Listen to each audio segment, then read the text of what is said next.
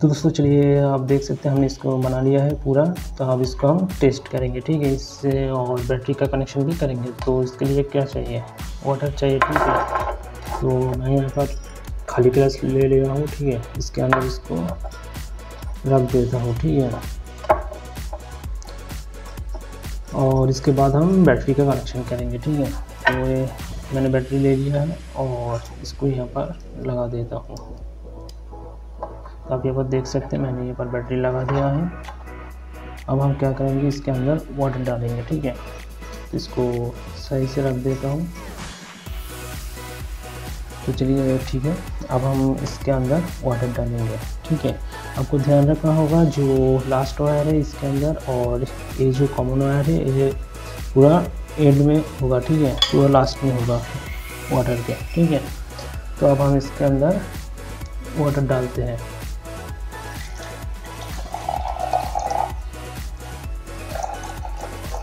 तो आप यहाँ देख सकते हैं जो लास्ट वायर है, ये वाला वायर है। ये वाटर पर टच हो गया है। इसके इसके वजह से ये जो लाइट है, ये जल रहा है। इसके बाद ए लाइट जलेगा और ए लाइट इसके बाद जलेगा, ठीक है? जब ये टच हो जाएगा ए वाला ए वाला वायर अब टच होगा, ठीक है? तो आप यहाँ पर देख सकते हैं दो वायर यहाँ पर टच हो गया है। इसकी वजह से ये लाइट जल रहा है, ठीक है? और अब हम ग्लास को पूरा भर देते हैं। ताकि पर देख सकते हैं ये वाला जो वायर है, वो भी वाटर के साथ टच हो गया है। इसके वजह से ये जो ऊपर का लाइट है, ये जल रहा है।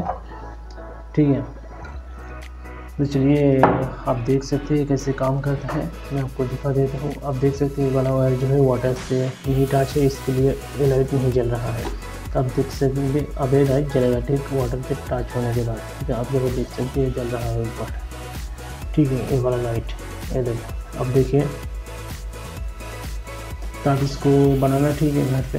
ये बहुत ही अच्छी तरह से ये काम करता है। ठीक है। मैं इसको वाटर टैंक में भी कैसे इसको इंस्टॉल करता है, वो मैं आपको दिखाऊँगा, ठीक है, एक वीडियो में, ठीक है। तो चलिए दोस्तों, आज के लिए इतना ही, ठीक है। अगर आपको ये वीडियो अच्छा लगे तो प्लीज़ वीडियो को लाइक कर देना, ठीक है। किसी भी प्रोजेक्ट के बारे में कुछ भी पूछने से नीचे कमेंट कर देना।